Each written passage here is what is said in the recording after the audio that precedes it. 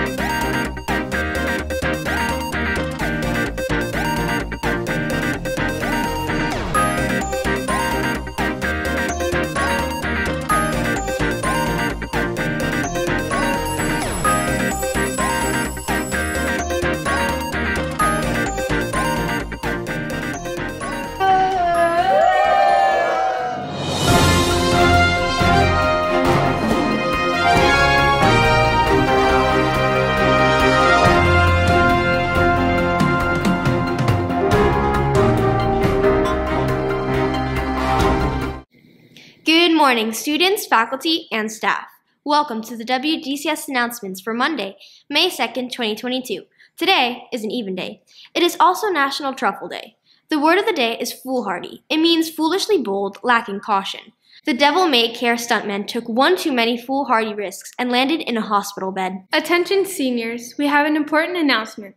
Due to a conflict with senior volleyball players and the events this weekend, we are going to move College Decision Day for the seniors to Friday, May 6th.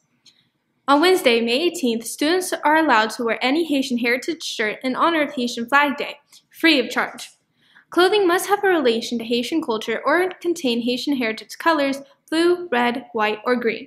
You may also wear jeans with no rips, holes, or tears. The SGA will meet after school today. We'd like to wish happy birthday today to Charlotte Oncine. The Quotidian Hawks will see you tomorrow. And that's a wrap.